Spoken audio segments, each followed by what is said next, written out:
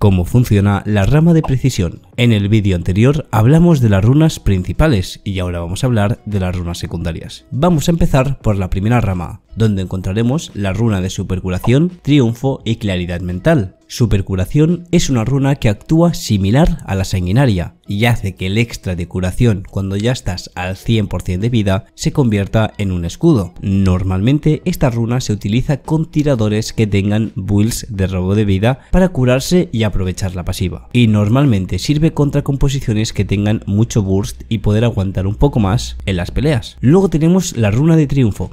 Esta es una de las runas más populares, ya que te cura un 10% de la vida y te da un extra de 20 de oro al asesinar o asistir en un asesinato. Esta runa está extremadamente fuerte y te sirve sobre todo para sobrevivir tras una pelea o incluso para sobrevivir a un prender. Si no sabes muy bien cuál runa elegir, esta es la mejor opción. Luego por otro lado tenemos claridad mental, que funciona similar a triunfo pero en vez de curarte vida te restaura maná. Esta sobre todo se utiliza con campeones que tengan muchos problemas de maná para recuperar maná tras una pelea y continuar con la acción sería el ejemplo perfecto. Y ya en la segunda rama de precisión tenemos la runa de presteza, tenacidad y linaje. En el caso de presteza, lo que hace es que los asesinatos y asistencias te otorgan velocidad de ataque permanente, por lo que normalmente lo utilizaremos en campeones que se centren en ataques básicos para potenciarlos aún más. Luego tenemos leyenda tenacidad, que nos otorga tenacidad permanente con asesinatos y asistencias, por lo que será la runa que utilicemos en caso de que el equipo rival tenga una composición con mucho control de masa. Y ya finalmente, linaje es una runa que nos otorga robo de vida hasta un máximo, por asistencia o asesinato, y que cuando llega al máximo de robo de vida te otorga vida máxima. Es una runa un poco más defensiva y para sobrevivir más en las peleas, ya que el robo de vida te puede servir en partidas donde te estén hostigando mucho y es una runa algo más débil